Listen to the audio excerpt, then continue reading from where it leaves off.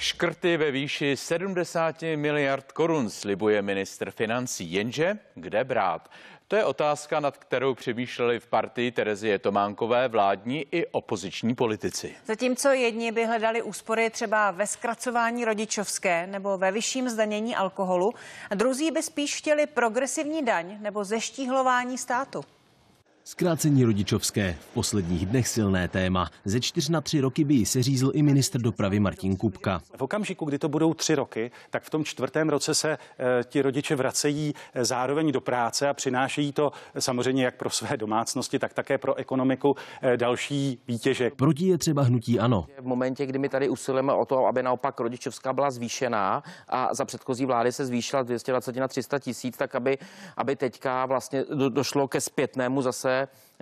Jako zabrždění a jak efektu. Stejně tak jako snižování valorizace důchodu. Jinou cestu k úspoře, kterou slibuje minister financí Zbigněk Stanjura, ale nevidí jenom opozice. Rozhodně řešit, jaké má být zdanění něčeho, co je škodlivé, co má nějaké negativní externality, například tabák. Druhý princip je, ať dotáhneme ty daně, které jsou u nás uh, nesrovnatelně nízké oproti ostatním zemím. Jestli nechcete zadlužovat dál tuto zemi, neprojídejme budoucnost našich dětí, tak to prostě bez těch daní nepůjde. Zvyšování příjmů na úkor občanů ale odmítají pravicové strany. Primárně má stát šetřit. Myslím, že lze ušetřit dlouhodobě v rozpočtu e, desítky miliard korun, pokud opravdu dojde e, k snižování počtu zaměstnanců. Chápu, že vláda chce šetřit, ale nemůže šetřit na lidech. Snížit agendy a státní zprávu. Solární baroni, politické neziskovky, černá díra ve školství, která se jmenuje inkluze, armádní zakázky. Třeba menší výdaje na armádu si vláda neumí představit. Ve světle války, která probíhá v Evropě,